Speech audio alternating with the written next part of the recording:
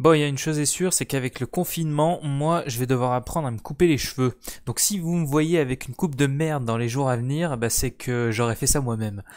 Bref, allez, on parle de l'épisode 11, l'avant-dernier épisode de Star Wars The Clone Wars qui est sorti aujourd'hui même, où je poste la vidéo. Et eh ben, il, se passe ce qu'on s'attendait, hein, à savoir l'ordre 66.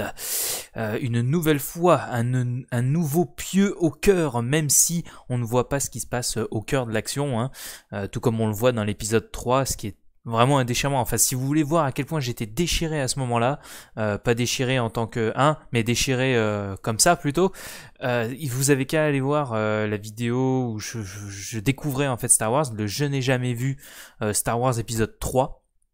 Et euh, c'était un épisode que j'avais fait vraiment différemment des autres. c'est peut-être d'ailleurs comme ça que la plupart m'ont connu. Alors non, la plupart c'est le coup de gueule. Mais après, vous avez été nombreux à regarder ces genres de vidéos-là.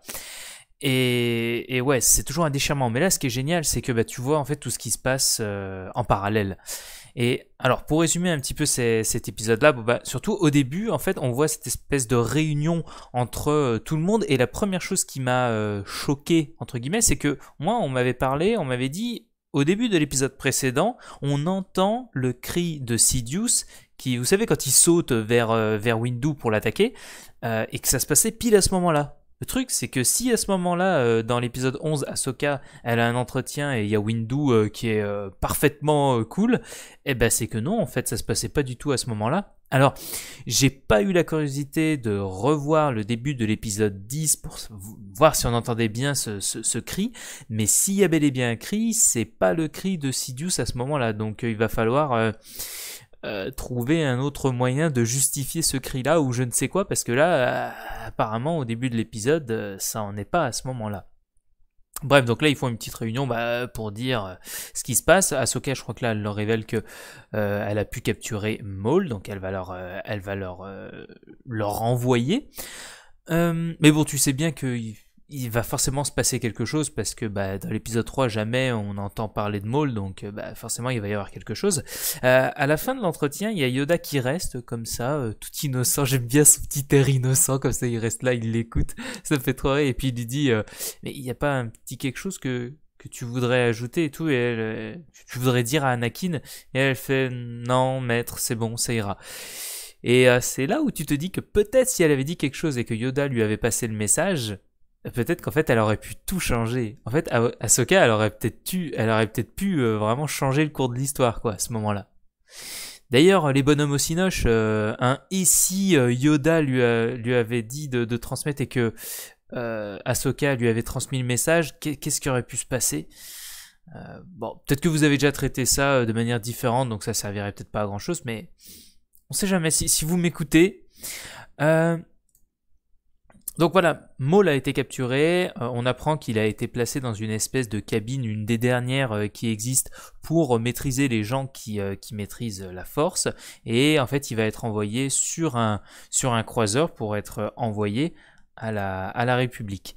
Et là, dans, à ce moment-là, tu as un entretien en fait entre Ahsoka et Rex qui est fort en émotion que bah, ils se disent en gros que voilà ils ont été les, les meilleurs alliés. Tu sens que c'est la fin. Tu sens que quand tu connais tu sais que les que les euh, clones vont se rebeller à cause de l'ordre 66 mais t'as toujours une petite réticence quand tu connais un petit peu euh, rebelle euh, parce que tu sais que bah Rex il est encore là donc tu, tu, te dis mais il a encore la puce, il l'a pas, qu'est-ce qu'il va faire? Est-ce qu'il va avoir le temps de l'enlever? Surtout que là c'est vraiment, enfin tu sais pas quand est-ce qu'il pourrait euh, l'enlever.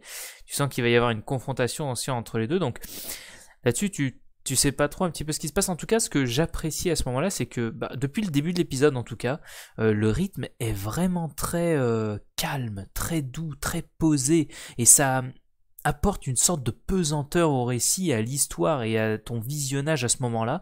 Tu ressens vraiment, euh, tu, tu sais que t'es pas dans un moment normal. Enfin, je pense que même si tu connaissais pas Star Wars et ce qui se passait en parallèle, tu ressentirais un petit peu cette pesanteur. Bien évidemment, euh, d'une manière un peu moindre, mais euh, vraiment, tu, sens qu'il y a quelque chose qui se passe. C'est ces genres d'épisodes où bah, t'as pas besoin de beaucoup d'action, t'as juste besoin d'une petite musique en fond, une petite ambiance, des expressions faciales de personnages et tout ça pour, pour te faire comprendre qu'il y a quelque chose. Et effectivement, après la sortie de de Rex à ce moment-là, elle se met à entendre euh, des voix, tout comme Maul aussi à ce moment-là dans sa cabine. Et, euh, ben c'est là en fait tu entends vraiment les, dialogues de l'épisode 3, euh, What I have done, au moment où Anakin, je veux dire, coupe le bras à, Windu, t'entends Windu crier et tout. Enfin, tous les tous les sons que, que, tu as l'habitude d'entendre qui tiraillent à ce moment-là dans l'épisode 3, tu les réécoutes à ce moment-là. Je, crois que c'est des sons vraiment qui sont tirés des films. Hein. Vraiment, tu les écoutes en écho dans la tête de euh, de, de Ahsoka. Et puis euh, bon bah une fois que ces visions là sont terminées elle fait oh Anakin elle a plus ou moins compris quoi. Et à ce moment là tu as aussi euh, l'image de, de Sidious qui dit exécuter l'ordre 66 et à ce moment là bah évidemment les, les clones se rebellent contre Ahsoka. Elle arrive à s'enfuir et à aller libérer Maul mais elle lui dit on n'est pas amis je te libère tu vas faire euh, le zouave de ton côté. Hein. D'ailleurs, euh, il fait très bien le zouave, je trouve, parce qu'il il y a un beau combat, il y a une image un peu plus tard. Mais là, je reviens sur le moment où elle a libéré, elle a réveillé des droïdes, et elle essaye d'accéder aux archives pour essayer un peu de, comprendre ce qui se passe. Et euh, alors... Elle regarde un espèce de message sur le CT5555, enfin c'est le, nom de code je crois de, du Trooper 5.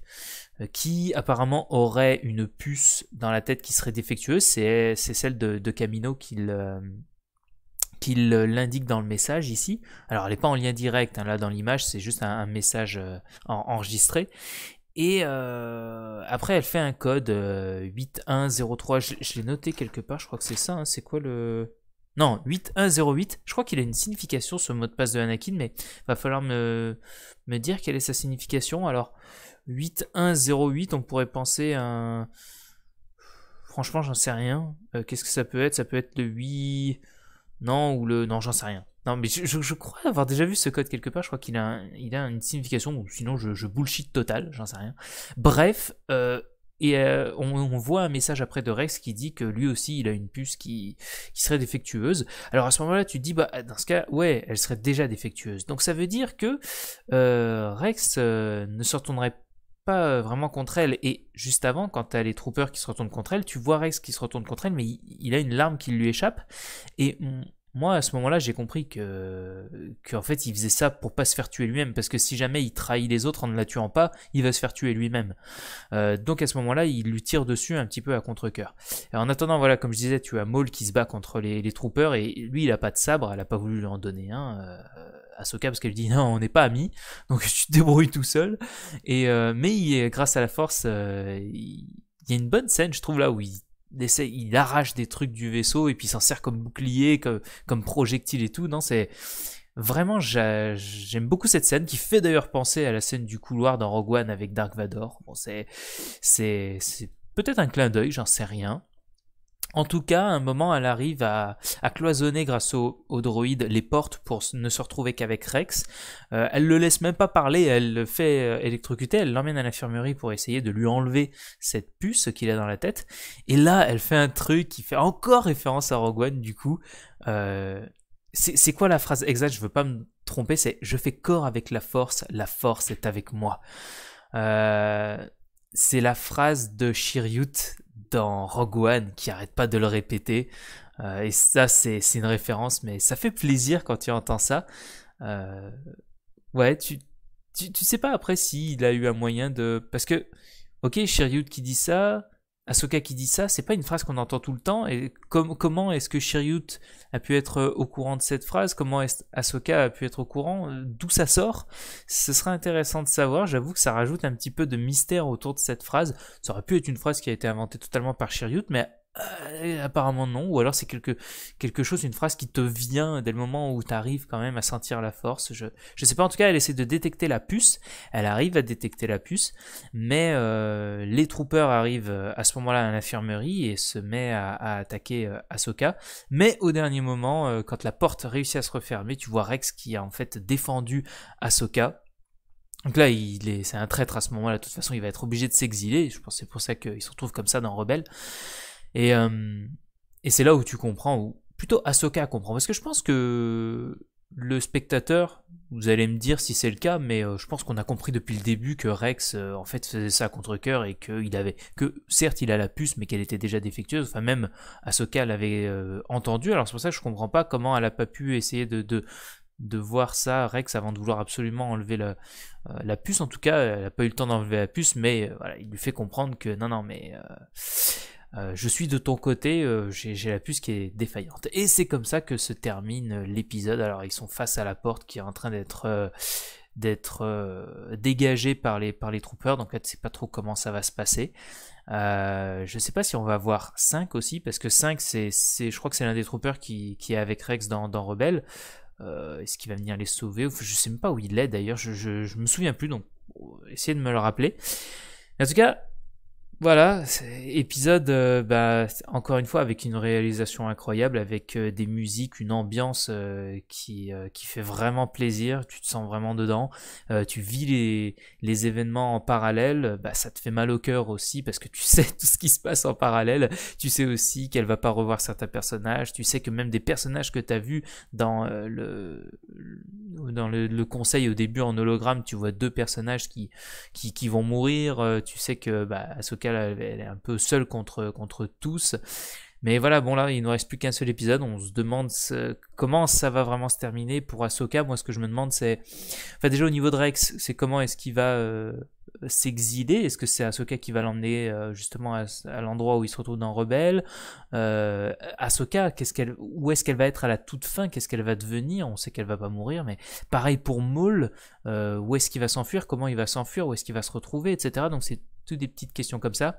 Et si on va peut-être revoir un espèce de petit lien. Est-ce que euh, Ahsoka va voir Vador euh, Enfin, elle va voir Anakin en mode euh, méchant, tout ça. Est-ce que là, j'avoue que je sais pas sur quelle échelle ça va, hum, sur quelle unité de temps en fait le dernier épisode va se reposer. je pense qu'il peut y avoir des petites choses intéressantes quand même à voir, mais en tout cas, on arrive au dernier épisode. C'est une chance incroyable de pouvoir avoir des épisodes qui se passent en même temps de l'épisode 3. C'est là, c'est marrant parce que ces épisodes-là, j'ai l'impression qu'il pourrait se passer n'importe quoi, tout le monde serait d'accord. Parce que tu attaques quelque chose qui est vraiment... Euh... Je veux dire, là, on n'est pas... Comment dire On n'est pas dans des analyses où, euh, comme l'ont été le, les épisodes, toute la, postlogie, euh, le 7, le 8, le 9, où on est là, oh là, là qu'est-ce qui va, qu'est-ce qui va pas? Et si vous voulez mon avis, j'ai l'impression qu'on devrait toujours être comme ça. On devrait toujours regarder quelque chose en se disant... Oh, c'est l'ultime vérité, c'est la seule vérité, et c'est ce que l'univers Star Wars est en train de m'offrir. Et à aucun moment j'ai l'impression que quelqu'un a envie de remettre en question ce qui se passe là dans les épisodes de Clone Wars. Alors certains vont me dire bah oui mais c'est obligé parce que c'est en même temps que, l'épisode de la prélogie. Alors qu'est-ce que tu veux avoir à, à redire là-dedans? Qu'est-ce qui peut être incohérent et tout? Mais si si, je suis sûr qu'avec plein de mauvaise foi, vous pouvez trouver plein de choses qui vont pas. Ah oui, ça je suis sûr. Tout comme quand on regarde la, la postlogie avec plein de mauvaise foi, on peut trouver plein de choses qui vont pas. Oui. Mais là, j'ai l'impression qu'on s'attaque à un lore qui est déjà bien installé depuis très longtemps et que c'est un petit peu euh, oh là là c'est tu, tu peux pas le toucher c'est de l'or c'est et c'est bien et pas bien. C'est bien parce que du coup ça unifie tout le monde, tout le monde est d'accord et ça, ça crée une ambiance autour de ces épisodes de The Clone Wars qui est vraiment euh, génialissime.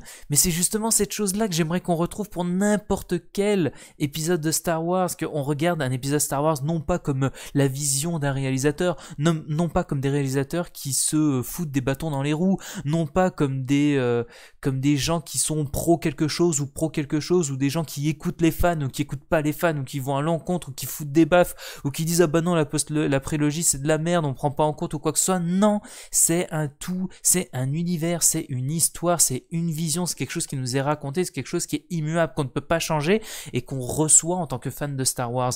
Et j'aimerais tellement, j'aurais tellement aimé que ce soit comme ça pour, la post-logie, qu'on soit autant, oh là là, je, je, veux la suite, je veux voir comment ça se passe, et je le regarde tout simplement en tant que fan et pas comme quelqu'un qui regarde les, les, petites bêtes et tout ce que je peux remettre en question. Voilà, c'était mon espèce de petit coup de gueule sur la fin. En tout cas, euh, je vous laisse là-dessus. Je vous souhaite de bien retourner à vos occupations. Ciao à tous et que la force soit avec vous. Rendez-vous au dernier épisode. Lundi, May the 4th